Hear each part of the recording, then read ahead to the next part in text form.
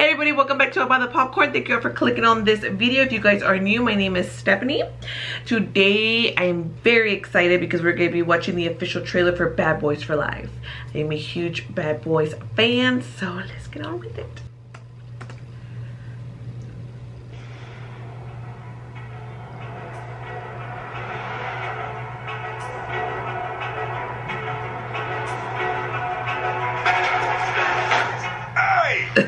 Shit. Oh, come on, man. You can get that buffed out. No, you can get that buffed out. Remember, knock and talk. Yeah, knock, knock. Mighty Petey, get down! What the hell happened to knock and talk? Hands behind your head right now. I got this. I'm gonna penetrate this man's soul with my heart. What? Watch and learn. Sir, I realize that you're scared. You know, sometimes fear. How deep you think you got in his soul? I'm done, Mike. I'm retired. Uh-oh, here we go again. You want your legacy to be muscle shirts and body counts? Look at this mess. It's carnage. I didn't do all this. You didn't shoot anybody? Well, come on, Cap. You know I shot some people. Yeah. Fuck me.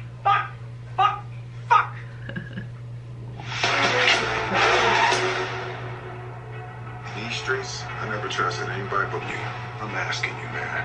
Bad boys. One last time. One last time. I'm the definition of half man, half drugs, ass the clubs, bad boy, that's what's up. We trying to do them all. We're not just black, we're cops too. We pull ourselves over later. It's official. I survived what I've been through. Y'all got drama, the saga continues. Bad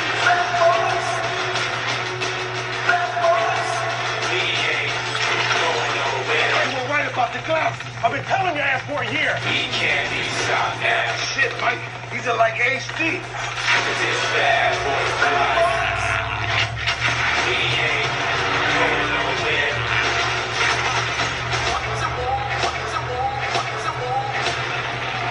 Cause it's bad boys for life. Bad boys, bad boys. Hey, what what you you gonna gonna do? Oh, what what you you gonna gonna do do when we come we back? Hey, hey, uh-uh, no, uh, no, never.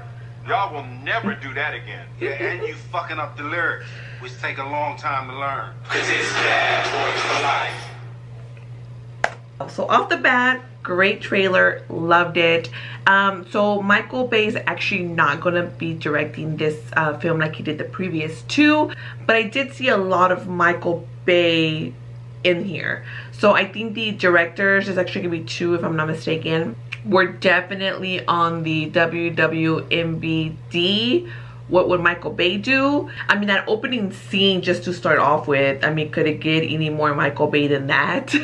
so we're also gonna get Vanessa Hudgens, Charles Melton in this, um, joining the team. I mean, it's gonna have a January release date, which is kind of like, mm. um, you know, for a movie like this, I feel like maybe should have been released the summer i think this would have been a really nice like summer release. Maybe kind of like what avengers did like at the end of april you know have it beginning of the may. Um or even have done it like for like spring break release. So i don't know they're doing it just for so they don't compete with something else. So they can have better like numbers at the box office. I mean that could be the strategy going in this one. Um i would wouldn't mind for this to be the last one just kind of finish it off with a nice little trilogy. I feel like you know three parts to a movie is more than enough. It's really great. Just kind of officially close off um, their storyline. So them even retiring or even one of them retiring i think would be a really good idea. I would actually like for something to happen to mike. Like honestly all, all the bad luck that marcus always gets i would like for mike to get something happen. Even though he's all like swag and like like you know mike especially if this is gonna be how we're gonna close it off i just want one little thing to happen to him one even if it's him falling or I don't know, they throw a gun at him, he doesn't catch it, and like it literally just passes right by him. Not because he didn't catch it because it was a bad throw by Marcus, but just something like, you know, just something small. I mean, I would prefer something big, you know. Poor Marcus got shot in the ass, he accidentally took some ecstasy. You know he's he's had a, a, a couple things happen to him. So there is this scene with marcus um, that i do see him running with the gurney. He does have this kind of distressed look. So i'm wondering if maybe something happens to one of his kids to his wife. That whole scene at the at the mall we're also police officers i mean that just looks funny as well. Looks like we're going to be getting the bad guys are going to be in like a motorcycle gang i don't know what kind of uh, drug related situation we have going on there because it always ends up being drug related. I mean overall the trailer was very entertaining. It did what it needed to do. It's getting me hot for January now. Um, it is a little bit worrisome. What do you guys think? Are you a little bit like mm, about the January release? Did that even cross your mind? Maybe what's gonna happen to Mike because I am literally have it paused at a car scene. What if the car doesn't make it? I would be okay. I mean, it's a beautiful vehicle, don't get me wrong, but that could be what could happen to to Mike. Like not necessarily to him, but to his beautiful car.